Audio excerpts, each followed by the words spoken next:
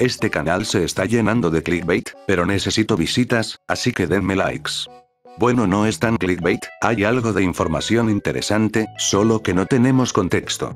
Por si no saben hace unas horas, fue el reporte financiero de Nintendo, usualmente hay rondas de preguntas de la prensa y de accionistas, un periodista, Takashi Mochizuki, publicó que el presidente de Nintendo se declinó a comentar sobre posible nuevo hardware. Esto es importante por varias razones, pero no tenemos el contexto de la pregunta, si fue a la prensa o si fue a un accionista y eso es una gran diferencia. A la prensa se le puede mentir, a los accionistas no.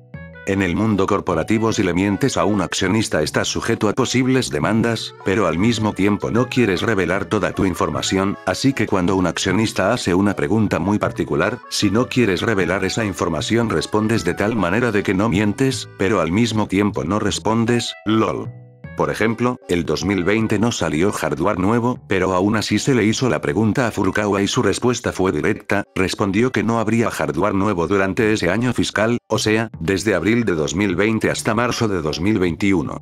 Y eso fue completamente verdad, pero luego en el siguiente año fiscal, o sea de abril de 2021 hasta marzo 2022 salió la Switch OLED, y nuevamente se le hizo la misma pregunta a Furukawa y ¿qué dijo esa vez?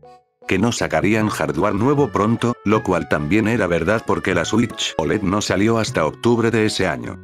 Declinarse a responder te deja en una encrucijada, si no dijo que no habría hardware nuevo este año fiscal, o sea de abril 2022 hasta marzo 2023, entonces eso quiere decir que si habrá hardware nuevo este año.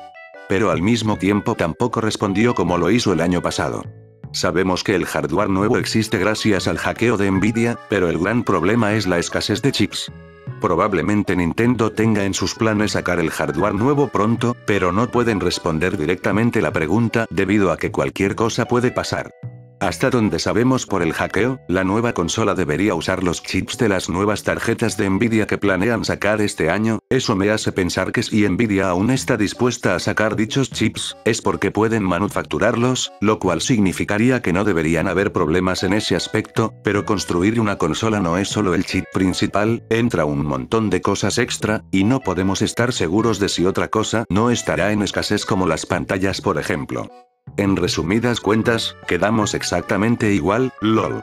Pero aún así es importante que no dijera nada concreto, aún falta que salga a la transcripción de la sección de preguntas y respuestas, y ahí podremos obtener más contexto sobre esto, y nuevamente haré otro video con más clickbait si es necesario.